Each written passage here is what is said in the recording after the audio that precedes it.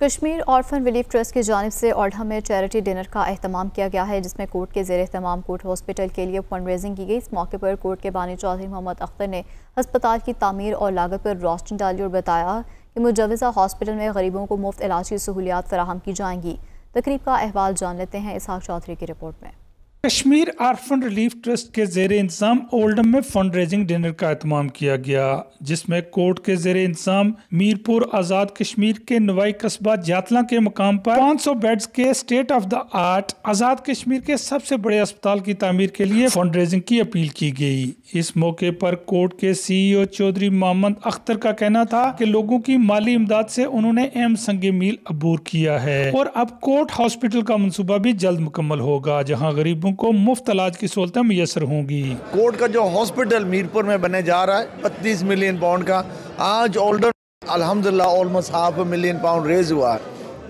Leeds में बेताशा लोगों ने तावन किया। ब्रैडफोर्ड में पीटरब्रो में ओल्डम में। अब जो हमारे आगे आने वाले इवेंट्स हैं Derby Luton Birmingham Slough Dewsbury मैं चाहूँगा कि जितने भी हमारे पाकिस्तानी और कश्मीरी डायफोरा हैं, वो ज़रूर आकर इसमें शिरकत करें वो अपना हिस्सा ज़रूर डालें। क्योंकि ये जो 500 बेड का हॉस्पिटल है, ये गरीब और मुस्तक लोगों के लिए फ्री इलाज फराम करेगा, जिसकी अच्छी ज़रूरत है। सत्तर पचहत्तर सालों से हम इंतज़ार कर रहे थे।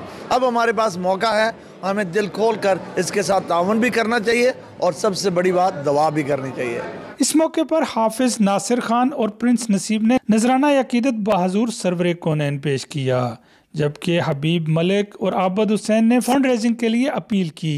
अल्हम्दुलिल्लाह कश्मीर और लीफ ट्रस्ट का जो इदारा है मुख्तु प्रोजेक्ट्स डिलीवर कर चुका है और अब हमारा जो नया प्रोग्राम है, वो है कश्मीर और फजीफ ट्रस्ट का हॉस्पिटल कोर्ट हॉस्पिटल जातना एरिए में, माशाल्लाह 100 कनाल की ज़मीन जो हमें दी गई है, वहाँ ये हॉस्पिटल की इब्तदा होने लगी है और उसके लेंग लेंग स्टोन सेरेमनी हो चुकी है।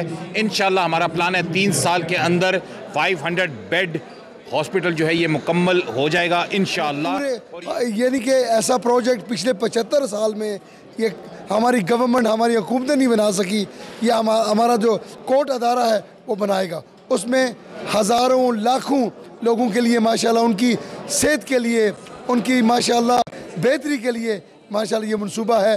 और अल्लाह पाक इसको पाए तकमील तक पहुँचाए I've done a lot of uh, charity with them.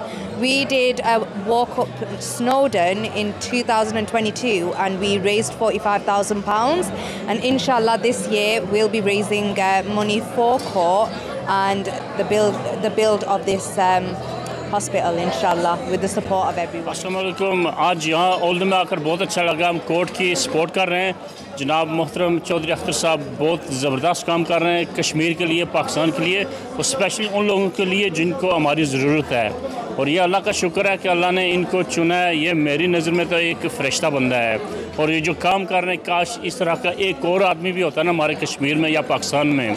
तो कुछ हम कहीं और जगह होते हैं। तो बहुत अच्छा लगा यहाँ कर काफ़ी लोग सपोर्ट कर रहे हैं और मैं सब लो, लोगों से ये रिक्वेस्ट करूँगा प्लीज़ आगे बढ़ें इनकी सपोर्ट करें यही चीज़ें हमारे आखिरत में काम देंगी। Job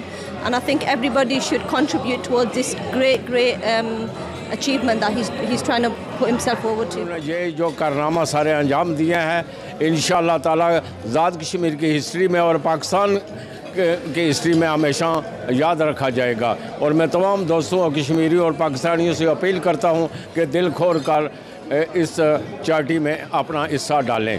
मुख्तर तकरीब में शरीक हुआ तीनों हजरात ने दिल खोल कर एहतियात दिए और हस्पताल के लिए खतीर रकम जमा की गई।